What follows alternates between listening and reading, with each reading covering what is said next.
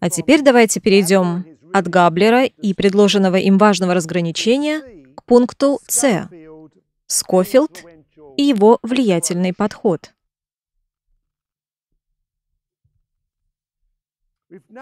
Если говорить о диспенсационализме, то он понимается как первая попытка в библейском богословии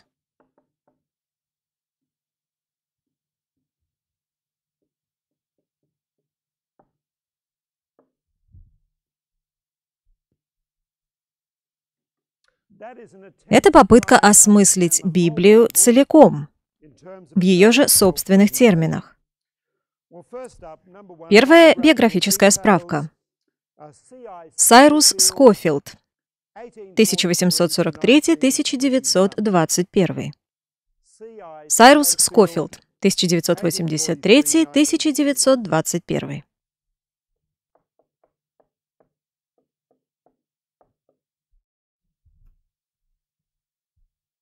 Был ортодоксальным пресвитерианским священником. Пресвитерианский священник, писатель, богослов-оратор. Сайрус Скофилд был также сторонником и защитником премиллинаризма диспенсации. Он редактор Библии Скофилда – известный популяризатор диспенсационализма в Северной Америке. Во-вторых, некоторые из его предшественников. Исаак Уотс и Джон Нельсон Дарби. Исаак Уотс и Джон Нельсон Дарби.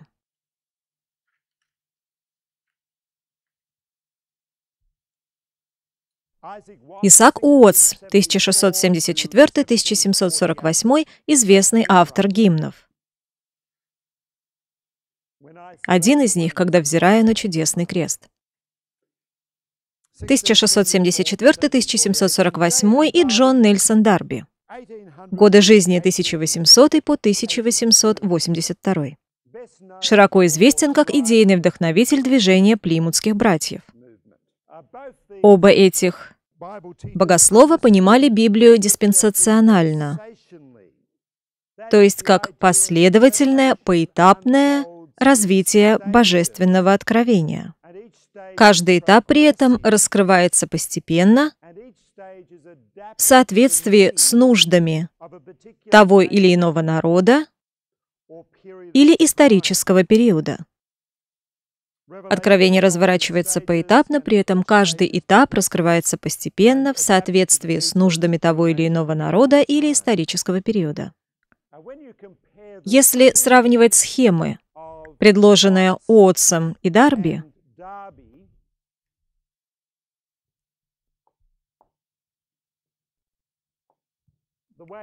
их разбивку на этапы, думаю, что Чарльз Райри прав в своем утверждении о том, что значительное влияние на Скофилда оказал скорее Исаак Уотс, чем Нельсон Дарби.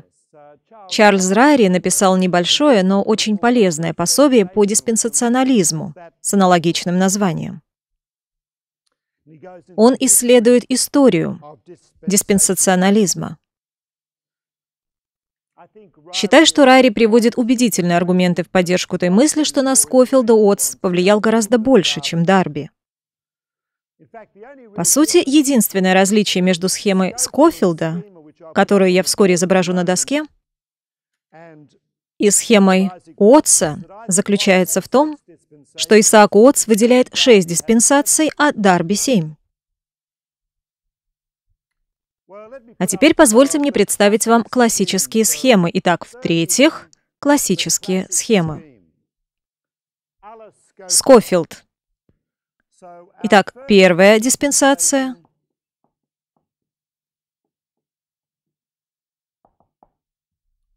По Скофилду.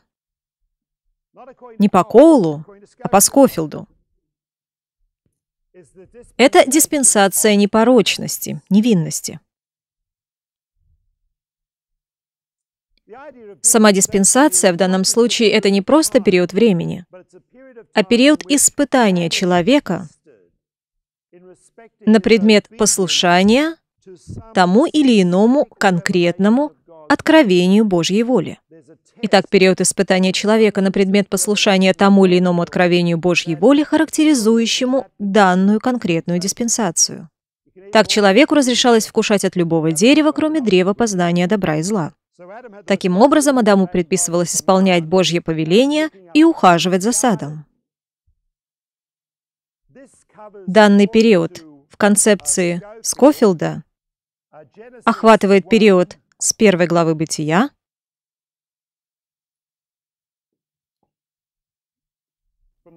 то есть времени сотворения людей, до Бытия 3.6. И это первая диспенсация до сотворения, если хотите. Это период безгрешности. Это период отсутствия греха. За первой следует вторая диспенсация по мере развития библейского сюжета, которая называется диспенсация совести. После грехопадения у человека появляется ощущение правды и лжи, знание добра и зла. Есть мнение, что отныне и до конца этой диспенсации Бог управляет Адамом и Евой посредством совести. Бытие 4.1, 8.14. События до потопа включительно. Третья диспенсация в схеме Скофилда — это гражданское правление.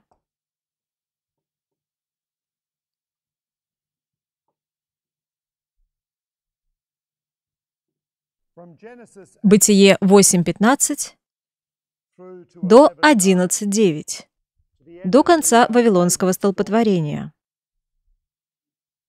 Обоснованием теперь Бог управляет, основываясь на таких принципах, как «кто прольет кровь человеческую, того кровь прольется рукою человека».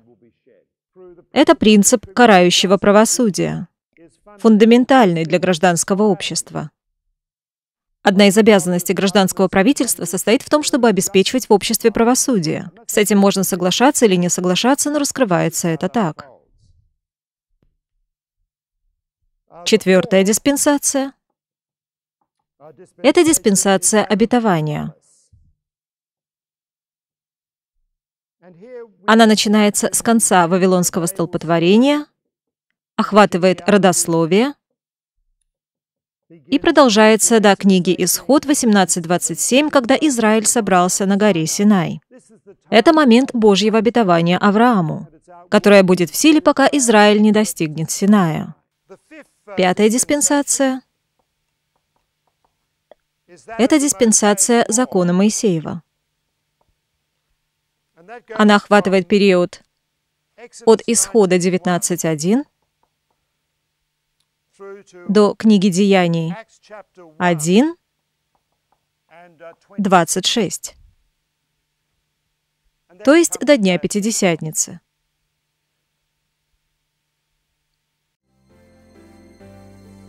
Видеосеминария ТВС – благотворительный проект. Наш общий вклад обеспечит доступное христианское образование и формирование сотен служителей по всему миру. Поддержите наш проект молитвой и финансами. О чем молиться и как пожертвовать вы можете найти на сайте www.tvseminary.com.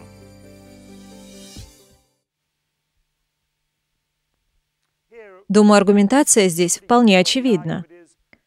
Особое откровение Божие — это закон Моисеев как еще один способ испытания израильского народа, способ благословения и проклятия. Шестая диспенсация — это диспенсация благодати. И Божьим инструментом здесь выступает не столько обетование или совесть, гражданское правительство или закон, сколько благодать.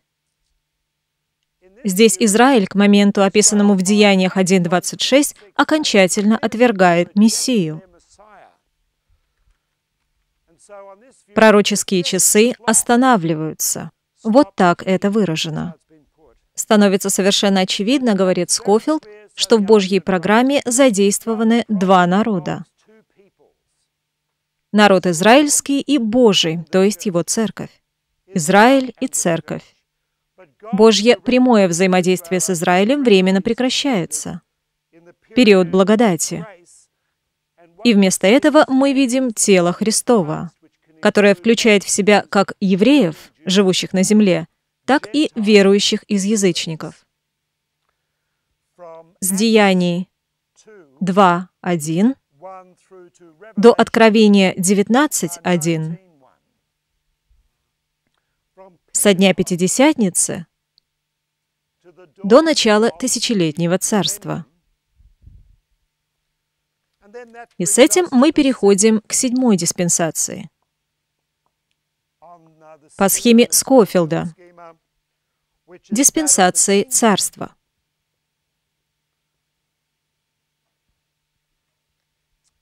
Она касается Тысячелетнего Царства. Книга Откровений 20, стихи с 1 по 15. После этого Бог творит новое небо и новую землю. Но это не восьмая диспенсация, если следовать схеме. Их всего семь. От невинности, непорочности до тысячелетнего царства. Основная тема тысячелетнего царства — это восхищение церкви с земли. Пророческие часы возобновляют свой ход. Христос правит Израилем в период тысячелетнего царства с центром в Иерусалиме на протяжении тысячи лет. По окончании данного периода происходит сотворение нового неба и новой земли, что описано в Откровении 21 и 22. И здесь мы наблюдаем необычный поворот, который и рассмотрим дальше. Известен он как прогрессивное течение.